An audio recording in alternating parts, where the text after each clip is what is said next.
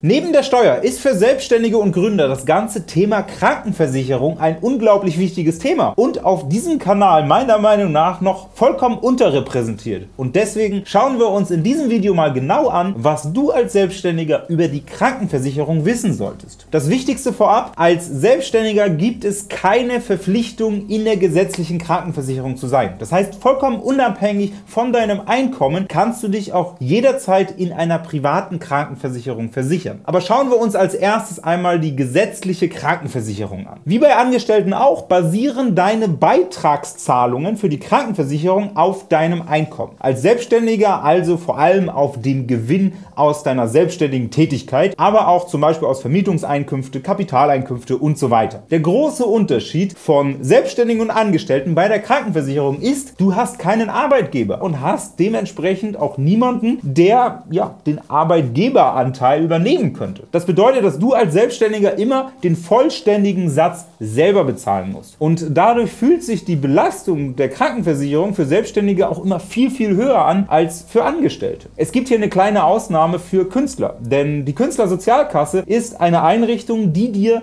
die Hälfte deiner Krankenversicherungsbeiträge abnimmt. Das ganze Thema Künstlersozialkasse möchte ich hier nicht aufmachen, dazu kommt in Kürze ein Video. Abonniere also unbedingt den Kanal, wenn du solche Videos auch in Zukunft nicht verpassen möchtest. Da sind einige spannende Videos noch in der Pipeline. Hier an dieser Stelle ist es nur wichtig, für Künstler gibt es eine Ausnahmeregelung und zwar die Künstlersozialkasse und diese Künstlersozialkasse zahlt einen Teil deiner Krankenversicherungsbeiträge. Für alle anderen Selbstständigen gilt das nicht, das heißt alle anderen Selbstständigen müssen den vollständigen Satz zur Krankenversicherung selber aus eigener Tasche bezahlen. Doch wie hoch ist eigentlich dieser Beitragssatz? Dieser Beitragssatz setzt sich aus unterschiedlichen Komponenten zusammen und ich würde mal sagen, der Basisbeitrag sind erstmal 14 Prozent. Das heißt 14 Prozent von deinem Einkommen zahlst du an die Krankenversicherung. Bei diesen 14 Prozent Prozent ist dann allerdings noch kein Krankengeld dabei. Krankengeld ist das Geld, was du bekommst, wenn du länger als sechs Wochen krank bist. Das ist bei Angestellten auch so. Innerhalb der ersten sechs Wochen gibt es eine Lohnfortzahlung vom Arbeitgeber und danach springt dann die Krankenkasse ein und zahlt dir Krankengeld. Das Ganze bekommst du aber nicht, wenn du 14 Prozent zahlst, sondern da müsstest du noch 0,6 Prozent zusätzlich zahlen. Das heißt, da erhöht sich dann schon mal der Krankenkassenbeitrag auf 14,6%, Prozent, wenn du nach diesen sechs Wochen Krankengeld bekommen möchtest. Wenn du das nicht zahlst, bekommst du halt kein Krankengeld. Das heißt, diese 0,6%, die sind optional für dich. Was aber nicht optional für dich ist, ist der Zusatzbeitrag. Jede Krankenkasse hat die Möglichkeit, noch einen Zusatzbeitrag zu erheben. Und das machen auch alle Krankenkassen. Im Durchschnitt liegt der 2024 bei 1,7%. Das heißt, insgesamt zahlt man in Deutschland im Durchschnitt zumindest 16,3%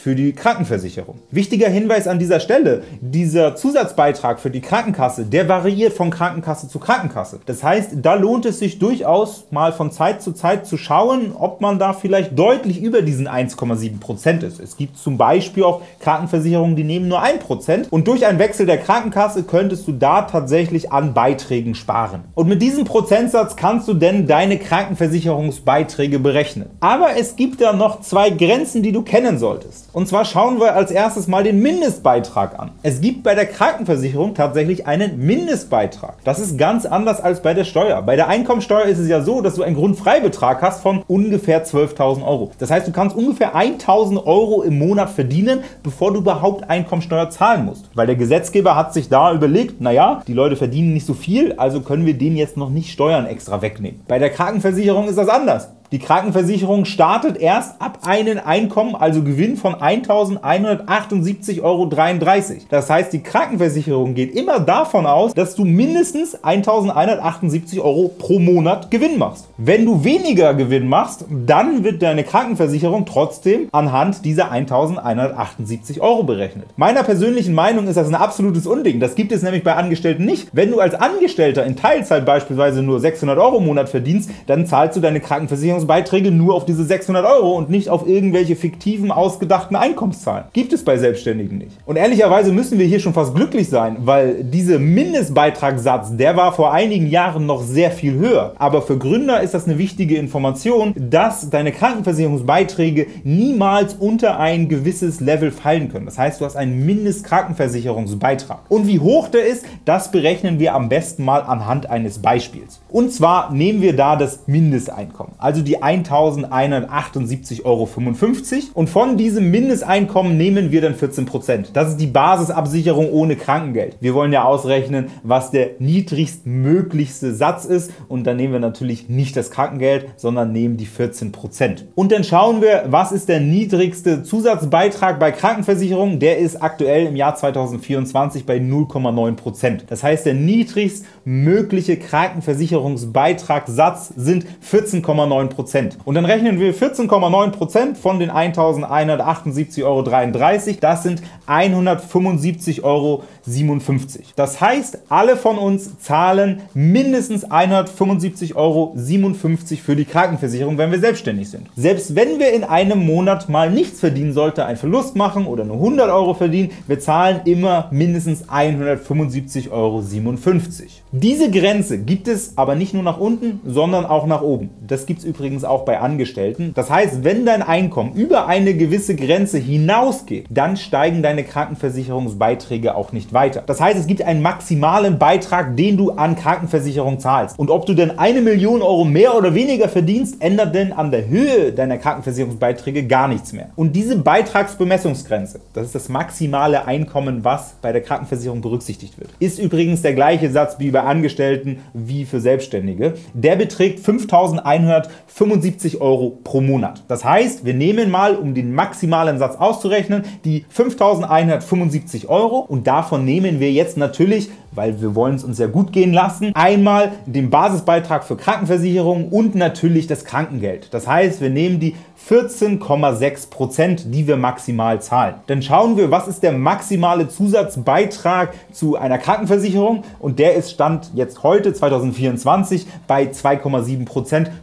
Zusatzbeitrag für die Krankenversicherung. Das führt dazu, dass wir einmal 14,6 und einmal 2,7 Prozent von 5.175 Euro nehmen und dann landen wir bei monatlich 895,28 Euro. Das ist der maximale Beitrag, den man als Selbstständiger ja heute für die Krankenversicherung zahlen kann. Ungefähr 900 Euro im Monat. Doch wie wird das eigentlich berechnet? Wir als Selbstständige haben ja keine Gehaltsabrechnung. Wir wissen ja noch gar nicht, wie viel Geld wir verdienen. Und die Krankenversicherungsbeiträge werden tatsächlich auch im Voraus fällig. Das heißt, den Krankenversicherungsbeitrag für Juni 2024 zahle ich am 1. Juni 2024. Es ist also nicht nur so, dass ich als Selbstständiger sehr schwankende Einnahmen habe, sondern ich muss ja wissen, was ich in den nächsten 30 Tage oder 31 Tage verdiene. Das weiß ich in der Regel natürlich noch nicht. Und deswegen muss das Ganze geschätzt werden. Das heißt, die Krankenversicherung wird dich am Anfang fragen, was du erwartest einzunehmen. Und basierend auf dieser Schätzung werden dann deine Beiträge festgesetzt. Das bedeutet allerdings auch, dass es nochmal eine nachträgliche Rückabrechnung gibt, also eine Abschlussrechnung. Und wenn du laufend zu wenig gezahlt hast, dann gibt es nochmal eine ordentliche Nachzahlung. Wenn du aber laufend in den Monaten zu viel gezahlt hast, dann bekommst du auch eine Erstattung von der Krankenversicherung. Wie passiert das Ganze? Naja, du musst einmal im Jahr einfach deinen Einkommensteuerbescheid einreichen und basierend auf dem Einkommensteuerbescheid werden dann ja die Beiträge festgesetzt. Übrigens, wenn du auf das Schreiben, was du einmal im Jahr von deiner Krankenversicherung bekommst, nicht antwortest, dann schätzt die Krankenversicherung einfach dein Einkommen. Und da bist du ehrlicherweise relativ zügig im Höchstbetrag. Das heißt, dann kannst du davon ausgehen, dass du ziemlich bald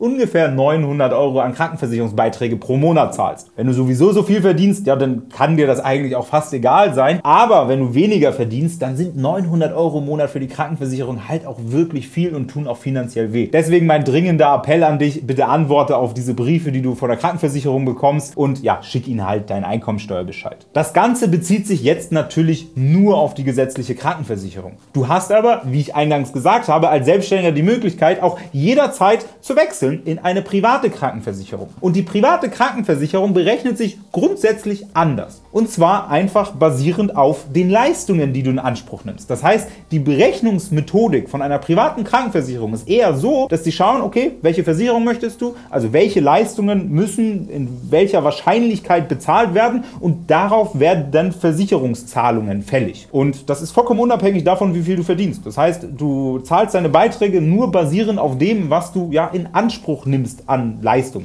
oder potenzieller Leistung. Wie hoch da die Beiträge bei der privaten Krankenversicherung sind, ist unfassbar schwer vorherzusagen. Das ist sehr abhängig von deinem Gesundheitszustand, von den Leistungen, die du auswählst und so weiter. Deswegen kann ich da dir jetzt keine pauschalen Aussagen geben. Was man so grundsätzlich sagen kann, ist, wenn du relativ wenig verdienst, dann ist die private Krankenversicherung ja fast immer teurer als die gesetzliche Krankenversicherung, weil es bei der gesetzlichen Krankenversicherung so ein Solidarprinzip gibt. Wenn du ein hohes Einkommen hast, zahlst du in der privaten Krankenversicherung aber ganz häufig weniger als in der gesetzlichen, also weniger als die ungefähr 900 Euro im Monat und hast gleichzeitig mehr Leistung, weil du wählst ja aus einem Leistungskatalog aus, Mal abgesehen davon, dass die private Krankenversicherung da meistens auch günstiger ist, aber du bekommst auch die Leistung, für die du dich ja selbst entscheidest. Und ehrlicherweise ist deswegen rein finanziell gesehen die private Krankenversicherung bei hohem Einkommen eher günstiger. Um herauszufinden, wie teuer eine private Krankenversicherung für dich ist, empfehle ich dir wirklich einfach mal einen der unzähligen Rechner im Internet auszuprobieren, da einfach mal deine Daten einzutragen und einfach mal zu vergleichen. Das kann ich so pauschal in einem Video jetzt nicht machen. Ich möchte dir aber noch mal zwei Gedanken anstößen, Anstöße mitgeben, bevor du jetzt sofort losläufst und private Krankenversicherung mit der gesetzlichen Krankenversicherung vergleichst. Und zwar erstens, der Wechsel in eine private Krankenversicherung ist wahnsinnig einfach. Der Wechsel zurück in die gesetzliche Krankenversicherung, der ist wirklich schwierig. Und normalerweise ist es so, dass wenn wir alt sind,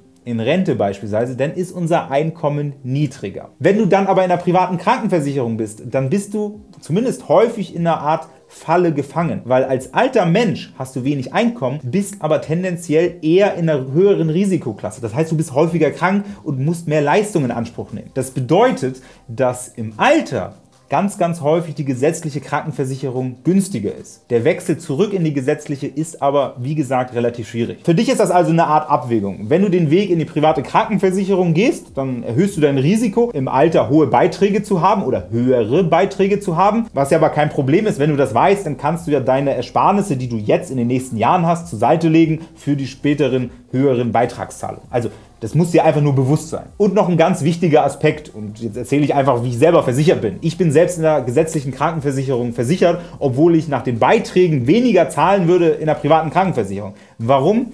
Weil es in der gesetzlichen Krankenversicherung sowas wie Familienversicherung gibt. Das heißt, meine Kinder sind über mich mitversichert und tatsächlich zum Teil oder zeitweise auch meine Frau. Das bedeutet, unterm Strich hatten wir in unserer Familie in der Vergangenheit zumindest Zeiten, wo wir genau einen Verdiener hatten, aber vier Versicherte hatten. Und dadurch erhöht sich mein Krankenversicherungsbeitrag in der gesetzlichen Krankenversicherung nicht. In der privaten Krankenversicherung hätte ich dann vier Beiträge zahlen müssen. Wenn du Familie hast, Kinder hast, die über dich mitversichert sein sollen, dann kann es tatsächlich dazu führen, dass die gesetzliche Krankenversicherung erheblich günstiger ist. Ich hoffe, mit diesem Video konnte ich dir einen ersten groben Überblick über das Thema Krankenversicherung geben. Ich drehe zu dem ganzen Thema gerne auch noch weitere Videos, denn da gibt es wirklich noch viele Dinge zu beachten. Wenn du da schon ganz konkrete Fragen hast, dann schreib mir gerne einen Kommentar unter diesem Video. Ich versuche dir gerne in den Kommentaren zu helfen, aber ich nehme natürlich auch das Feedback gerne auf, um auch nächste Videos zu drehen. Ansonsten habe ich eine ganze Reihe an Empfehlungen von Buchhaltungsprogrammen, Rechnungsprogrammen, Steuerberater und so weiter. Alle meine Empfehlungen findest du unten in der Videobeschreibung.